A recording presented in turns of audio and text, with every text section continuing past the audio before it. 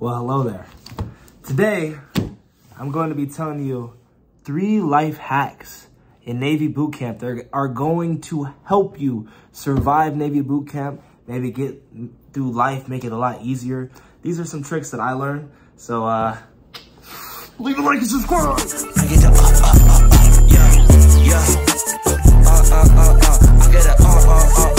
All right.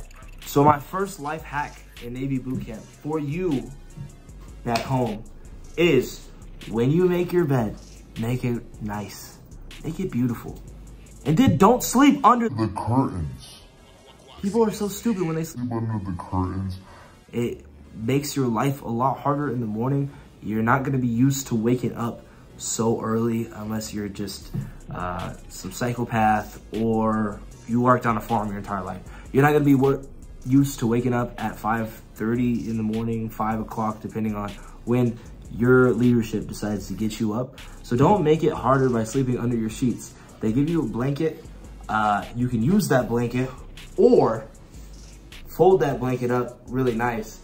And at the end of the night, put it inside of your rack so you don't mess it up and wear your sweats as a blanket. That was a genius idea that I developed in Navy boot camp.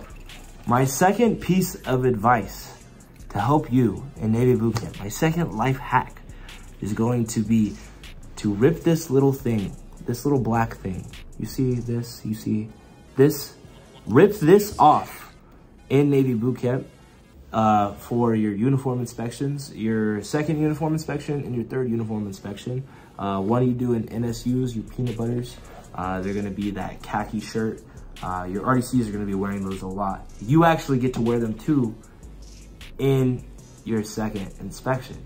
And also, you get to wear them, or you're gonna be wearing ribbons, which is what this is for, to measure it out uh, for your dress blue inspection.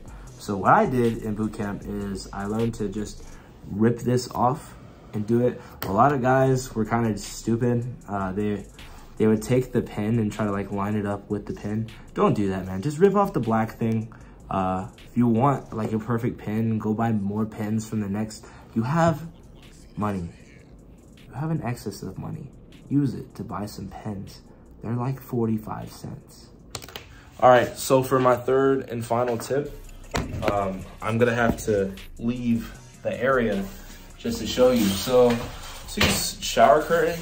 Yeah, when you're in boot camp, they have curtains. There's no doors on the stalls.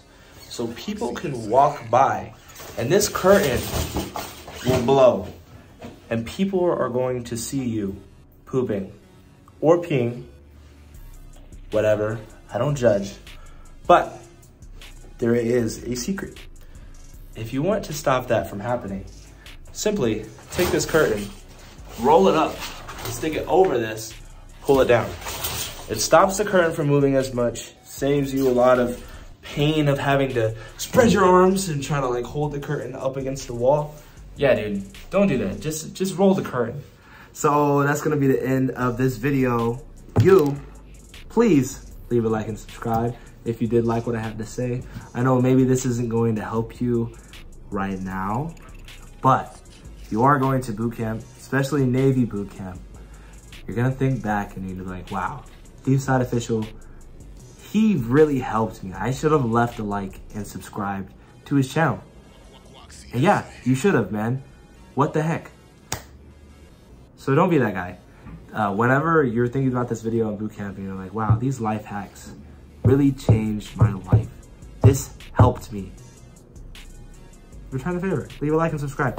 Anyway, I appreciate all of you guys for staying tuned. Uh, you guys are the best. If you guys have any questions, I'm always available in the comments. I try to answer as many comments as I can.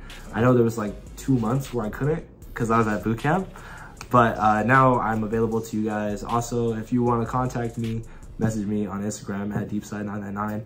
I answer pretty much all of my DMs. It might take a couple hours or a day or so, but uh, I promise I will not let you guys down. Uh, and if you do like me as a person, I make music. Uh, I link that down in the description. If you do want to support my dream, that's really what I want to do. Uh, even though I'm in the Navy, this was that's like my other thing that I want to do in life. So I appreciate you guys. Also, uh, shout out to the Navy. Love the Navy. Uh, stay blessed. Peace.